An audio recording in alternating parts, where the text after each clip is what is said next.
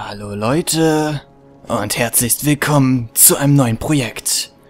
Und zwar Let's Play Thief. Der vierte Teil der Thief-Reihe für den PC, wie man an meiner Maus sehen kann. Ähm, ja, ein Spiel, was ich schon mal gespielt habe. Ähm, ja, zuletzt hier kann man es auch wundervoll sehen, wenn ich es zuletzt gespielt habe. Und wie lange ich schon gespielt habe. äh, ja. Äh, was gibt's zu diesem Spiel groß zu sagen? Ich habe es mir vor Ewigkeiten gekauft gehabt. Ähm, eigentlich wollte ich an dieser Stelle jetzt gerade was einblenden, aber ich wusste nicht, dass es auch hier gleich direkt angezeigt wird, wann es zuletzt gespei äh, gespeichert, also halt gespielt quasi. Oh ja gut, dann kann ich den Screenshot wegwerfen. So. Aber, weil ich schon sehe, dass das hier echt äh, ein wenig überfordernd ist, müssen wir da erstmal gucken. Okay, Sichtfeld geht noch höher. Moment, dann nehmen wir da 100. Nee, nehmen wir 100. Ist besser. So, Voreinstellungen. Normal, normal, Standard, Schattenqualität. Auch mal eher Mittel. Screen Reflection ist ein... Warum denn hoch? Ich stelle doch mal erstmal auf Mittel, Junge. Das machen wir mal aus. Äh... FXAA machen wir mal aus. Contact Hardening Shadow. Ja. Desolation. Ich habe keine Ahnung, was ich hier gerade an- und ausgestellt habe. Fuck yeah. Ich hoffe mal, so geht's einigermaßen im Spiel dann. Also jetzt, wenn, es, äh, wenn ich dann im Spiel bin, hier ist, läuft's eigentlich erstaunlicherweise sogar noch am flüssigsten. Leider. Ähm, ja. Okay, hier ist eine Menge an. Also lassen wir es auch erstmal an. Äh, was gibt's noch? Anzeige. Anzeige ist draußen. 720p. Naja, gut. Sollte für die Aufnahme reichen. Hörer render ich sowieso erstmal nicht. Warum ist mein Mikro bitte so leise eigentlich? Oder liegt's an der Skalierung? Muss wahrscheinlich an der Skalierung liegen. Irgendwie ist der Ausschlag so gering. Ich das Gefühl. Am Mikro Mikrofon ist auf jeden Fall das Richtige drin. Ich hoffe, der nimmt mich jetzt nicht zu leise auf, ansonsten muss ich es gleich nochmal umstellen dann. Also im Nachhinein dann. Wiesink. Bam, 40. Ja, ich sag mal nichts dazu, ne? Ähm, ja, Wiesink. Hm? Okay. Lassen wir das mal. Also Steuerung drauf gekackt. Das nehmen wir irgendwann im Spiel mit. So, bevor wir noch mehr Zeit verlieren. Neues Spiel. Durch den Start eines neuen Spiels. Autospeicherslot überschrieben. Jeglicher nicht manuell gespeicherter Fortschritt geht verloren. Möchtest du trotzdem... Ja. Who gives a fuck about mein... Ohnehin schon... Eigen? Achso, Herausforderung... Okay. Ich würde sagen, mittleren Schwierigkeitsgrad und los geht's, ne? Was ist denn eigentlich einfach? Gegner sind schwach und weniger aufmerksam. Außerdem gibt es reichlich, reichlich preiswerte Ressourcen. Okay, ach so, zum Finden. Also Pickups, Pickups so. Die sind fähig und aufmerksam, Ressourcen sind erschwinglich und ausreichend vorhanden. Ja, das klingt doch gut. Gegner sind tödlich und Zivilisten dürfen nicht K.O. geschlagen oder getötet werden. Ach, das ist ja kacke. Nee, das nehmen wir nicht. Das nehmen wir auf jeden Fall nicht. Nicht wegen der... Äh, Zivilisten dürfen nicht. Äh, nee? Die nerven teilweise sau toll. also... Nee, das nehmen wir nicht. Ja, ich hab's bis Kapitel 5, wie man gerade gesehen hat, schon mal gespielt. Danach wäre es komplett blind. Äh, ich weiß auch noch ungefähr, was meine letzte Mission war. Glaube ich zu, zu wissen, zu meinen, zu denken. Ähm, ja, zu der Story von den ersten drei Teilen kann ich nichts sagen, weil ich keinen davon gespielt habe. Ähm, aber ich hoffe, ich krieg das hier einigermaßen gut hin. Schön. Eine Sache hat mich diese Stadt gelehrt. Alles hat seinen Preis. Geheimnisse, ein Ruf, ein Leben. Und Vertrauen? Wenn du um etwas bitten musst, kannst du es dir nicht leisten. Andererseits spielt das für jemanden wie mich wohl keine Rolle. Sagen wir mal so, wann habe ich je für etwas bezahlt? Offenbar gar nicht. So, der Fall. So, ich weiß, dass wir mit C crouchen können. So, der Kerl wacht sowieso nicht auf. Mit E nehmen wir also Sachen auf. Können wir uns auch in Ruhe umgucken. Also er wacht, wie gesagt, er wacht nicht auf. Das ist einfach nur so tutorialmäßig. Wir sind hier Thief, äh, als Garrett unterwegs, als Dieb. Ich würde sagen als Thief und nicht, äh, ja, Thief, ne? So, kriegen hier immer schön Knete für die ganzen Sachen. Hier können wir auch Schränke und sowas können wir auch öffnen. Da finden wir dann auch te teilweise teurere Sachen. Schubladen auch. Sehr schön. Ist auch in der Ego-Perspektive komplett. Also alles, was wir hier machen, se wir sehen auch unsere Füße, was ich saugeil finde, wenn man das in einem Spiel, wo eine Ego-Perspektive vorhanden ist, sieht. Ähm, ja, die Grafik, ich werde mal noch ein bisschen rumschrauben, dass die Grafik noch besser wird. Äh, ich habe ja mittlerweile halt einen, ja, deutlich besseren PC. Ist ja seit seitdem ich jetzt wieder mit Let's Plays richtig aktiv angefangen habe, ist es ja so, dass mein PC von der Leistung her deutlich, deutlich über dem liegt, was ich vorher mal hatte. So. Hier können wir auch einfach rüberlaufen. Hat nichts mit Balance zu tun. Bei manchen Sachen müssen wir eh gedrückt halten zum Beispiel. Und dann, also kurz gedrückt halten und dann anheben, damit wir hier schön, zack, sneaky sneaky und so. So. Äh, ich werde so gut wie ich kann alles versuchen zu machen.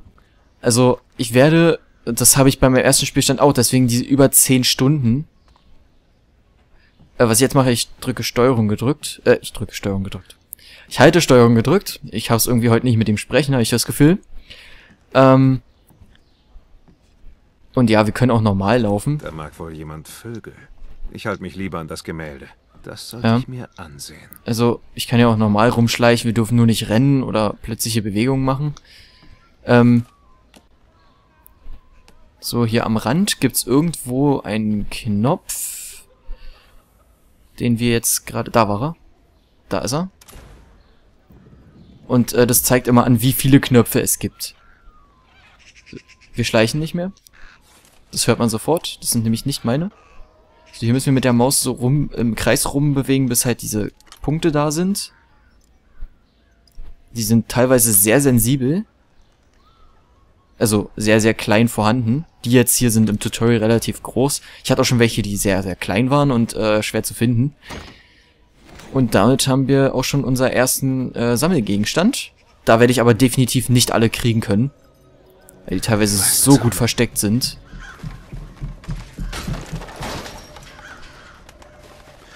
Tja, im Volksmund heißen die Dächer Straße der Diebe. Hoffentlich ist das nicht der, von dem ich denke, dass er es ist. Ähm, doch, Garrett, leider ist das. So, wir haben hier Pfeile, und zwar einen Seilpfeil. Und äh, wir haben diverse Pfeiltypen, jetzt gerade noch nicht zur Auswahl. So, denn Garrett ist ein ausgezeichneter Bogenschütz. Ähm. Uh, können Z gedrückt halten. So. Ähm. Linke Maustaste gedrückt halten, um anzuvisieren. Dann ist er voll angezählt und bam. So, Ali hopp.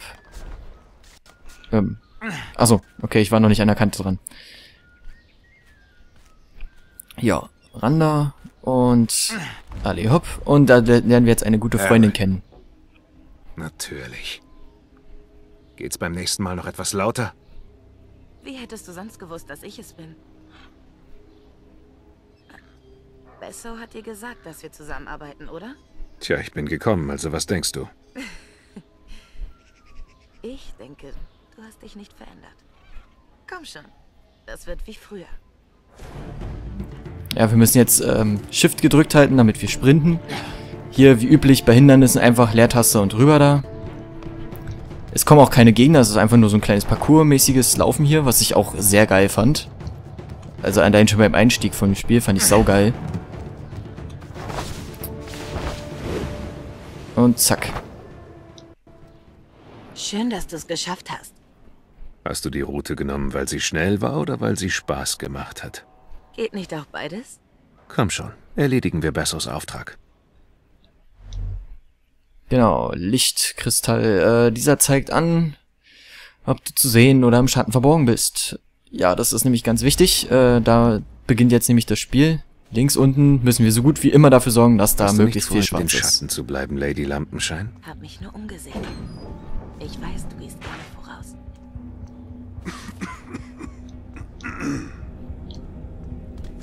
So. Können wir auch noch vorlehnen. So. Mehr zu sehen. Wir können auch Leertaste drücken, um vorwärts zu schleichen, so. Einen, einen kleinen Schleicher, sozusagen. Du solltest dir auch so ein Ding besorgen. Wir sehen uns dann drüben. Da komme ich dann wohl nicht weiter. So, ist hier eigentlich noch was? Ab, bevor der Mitsommertag vorbei ist. Warum trinken wir nicht erst noch Nee, nix. Den Karren nicht einfach stehen lassen. Heute ist ein Feiertag. Alle Diebe der Stadt liegen besoffen unter irgendeinem Tisch. Genau wie die Wachen. Ich will nicht wieder mit einem betrunkenen Wachmann diskutieren. Die machen mir da ein bisschen Sorgen gerade. Warte mal, kann man eigentlich, wenn man E und dann nochmal E? Okay, nee, dann bricht man nicht ab. Und wenn ich D drücke, auch nicht. Okay, ich muss also nach hinten gehen, um abzubrechen. So, hier müssen wir immer schnell durchhuschen. Da können wir den Pokal mitnehmen. Oder den Becher in dem Fall. Ja, ähm, das ist jetzt Tutorial und das Tutorial ist sehr, sehr doll auf Stealth am Anfang ausgelegt. Also, man darf sich wirklich nicht sehen lassen. Also, sollte man zumindest nicht. Darauf ist es jedenfalls stark am Anfang ausgelegt, aber ich kann euch sagen, es kann später noch anders sein. Und das wird auch im Tutorial noch gezeigt. Gefällt dir die Kralle? Hab ich selbst gebaut. Das wird die Wachen sicher beeindrucken. Die haben uns garantiert gehört.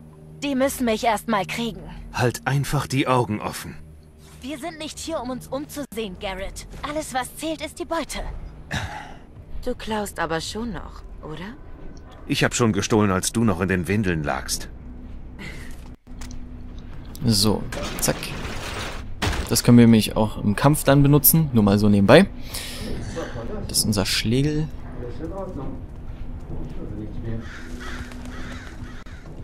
Sieh mal, was ich gefunden habe. Wir beide abends in der Stadt. Warum haben wir damit aufgehört? Weißt du das wirklich nicht? So, hier erstmal wieder, zack. Ah, nix. Ach ja, eine Schere, sehr schön. Die Preise sind hier relativ gering, wie man sieht. Diese äh, 3 Gold, 5 Gold, bla bla bla. Ähm, aber glaubt mir, Leute, jedes Goldstück zählt. Und selbst mit den Kerzen können wir interagieren, denn die machen Licht aus. So, dann können wir hier das Schloss knacken. An Orten, an denen ich nicht willkommen bin, versuche ich nicht aufzufallen. Und davon gibt es eine Menge. Jo. Zack. Stifte setzen wir mit E, nur mal so nebenbei. Ich weiß, das seht ihr alles immer, aber ich will mal nur auf Nummer sicher gehen. So, hier ist auch keiner weiter. Es gibt auch so ein Aufleuchtgedingse, wenn man ähm, wieder, ich sag mal, sichtbar ist. Also im, im Dunkeln ist man wirklich sehr, sehr stark unsichtbar für Feinde. Da wir auf normalen Schwierigkeitsgrad spielen, etwas geringer, aber wir haben hier einen Es ist schwer, in dieser Gegend ein Geheimnis zu wahren. Tagebucheintrag. So, hier sieht man schon die drei verschiedenen, ähm, ja, Spielstile, die es gibt. Einmal das Phantom, die, die halt wirklich komplett Stealths durch die Mission durchgehen. Die Opportunisten, die eine Mischung aus Phantom und Jäger sind. Und ein Jäger, der die Leute tötet, um durchzukommen. So, hier haben wir unser Sammelstück. Unter Unikat ist das zu finden. Es ist das funkelnde Federkleid. Ein vergessenes Andenken an Lady Christinas feierwürdige Jugend vor dem Unfall. Welcher Unfall auch immer. Seitdem sie wie besessen für verletzte Vögel sorgt. Es gibt sehr, sehr viele Sachen hier, wie man schon sieht, 202. Ich werde wahrscheinlich eh wieder nicht alle finden. Auch leider im Normalen nicht. So, Ressourcen, Seilfall. Ja, Aufplay macht da ein Seil und bla bla bla kann man zum Klettern benutzen. So, Dokumente. Ich versuche auch meistens alles vorzulesen, was ich so, ja, finde. Ich lese mir die auf jeden Fall, ich mir die auch im normalen Spiel durchgelesen. Madame Flowers. Beziehung zu Wachmann wird fortgesetzt. Ehemann immer noch absent. Anonymen Brief abschicken. Mr. Fragezeichen. Wohnung auf der anderen Straßenseite angemietet. Im unteren Stockwerk muss sich ein verborgener Wandtresor befinden, links von der Treppe. Links von der Treppe? Ständig gehen wertvolle Gegenstände durch seine Hände, aber ich sehe nie genau, wo er sie versteckt. Wusste doch, dass er nichts Gutes vorhat. Paxman. Nichts seit mehreren Tagen. Verstorben? Hab nie Verwandte gesehen. Geld für Erben? Ja, Tagebuch des Voyeurs. Ich versuche dann auch so gut wie alle vorzulesen. Ich überlege auch, ob ich dann irgendwann mal Vorlesefolgen mache, wenn ich erstmal ein paar Dokumente sammle. Äh, weil ich finde es immer ganz interessant, das alles so durchzulesen, aber ich das Gefühl, im Let's Play das alles vorzulesen, so auf jeden Fall immer gleich, wenn ich es kriege, dann habe ich nichts vom Part. Also, beziehungsweise dann haben andere nichts vom Part. Das ist eher suboptimal. So, da haben wir schon den nächsten Schatz. Ach, dachte ich, schade. Weil in solchen Schatullen ist manchmal auch ein, ja, Schätze drinne. Also so eine Sammelstücke, die dann halt kein Gold bringen. So, weiter geht's. Wenn du schon wie ein Wachmann auf die Straße pinkelst, geh wenigstens aus dem Licht. Hier kann dich jeder sehen. Ach so, unter uns. Das Bier muss irgendwo hin, Schatz. Ich hab's nur aufgewärmt. Da. Abgesehen davon, siehst nur du zu. Kaum zu glauben, was für ein guter Fang du mal warst.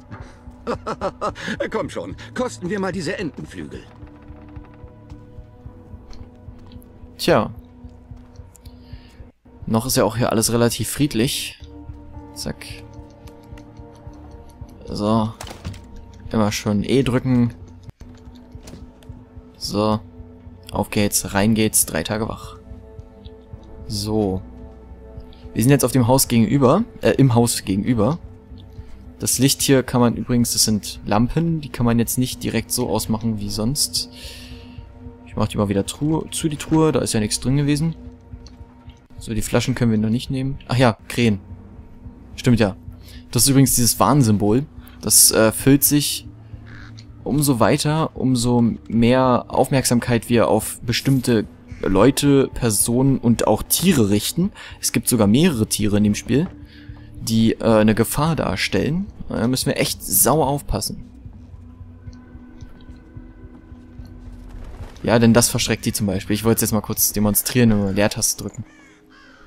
Wie viel hast du gestohlen? Es geht nicht um wie viel, sondern um was. Und auch um das Wie. Dieses Urkraftstein-Ding, das Besso will, ist anscheinend im Zeremonienraum von Northcrest Manor. Heimstatt des Barons.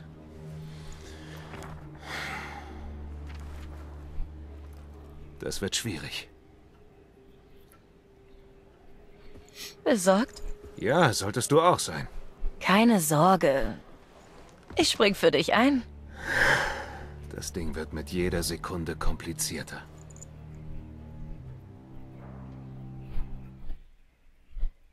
Hm. Was das wohl alles zu bedeuten hat. Ja, da hinten kriegen wir schon leichte Spoiler-Sachen, da unten.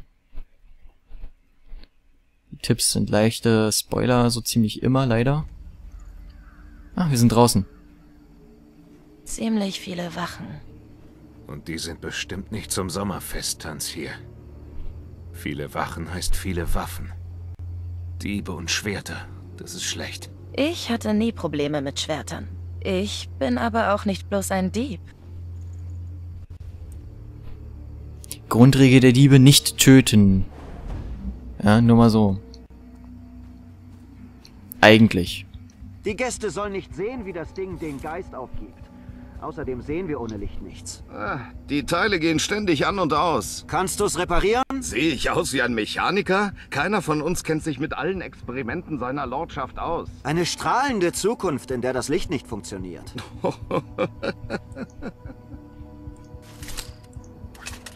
Gut.